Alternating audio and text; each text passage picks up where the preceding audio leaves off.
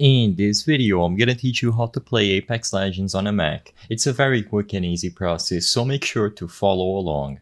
First, if you go to the Apex Legends website and you browse through the options to play, you will notice that it lists it having support in the Steam launcher and also through EA itself. However, even if you go through Steam or EA Launcher, you will notice that you are only able to play on Windows-based systems. You will not be able to play on a Mac through either of those platforms. So as of today, the only workaround that you have to play Apex Legends on a Mac is to use GeForce Now. I won't dive too much into detail about GeForce Now, but basically you can sign up to use GeForce Now and it allows you to stream Apex Legends and play through cloud gaming. I highly recommend that you go over to the NVIDIA website and you check more information about GeForce Now and if your system meets the requirements. But as you can see, it is available for Mac OS. As soon as you download it, you will be able to choose from one of the membership plans and start using it right away. You can choose from a variety of games, including Apex Legends, but keep in mind that it is a paid solution.